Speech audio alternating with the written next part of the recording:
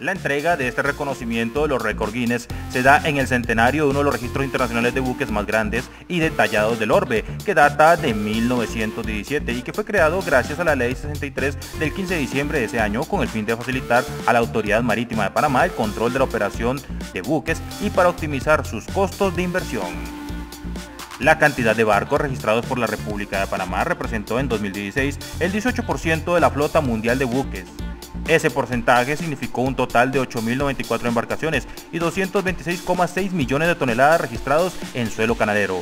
La composición de ese registro es variada, pues posee buques graneleros que representaron el 50% de las naves con bandera panameña, buques de carga y pasajeros que suman el 28% del total de la flota canalera en el mundo, barcos tanqueros que representan el 20% de ese registro, buques de mar adentro que contabilizan el 1,8% y otro tipo de embarcaciones que suman apenas un 0,2%.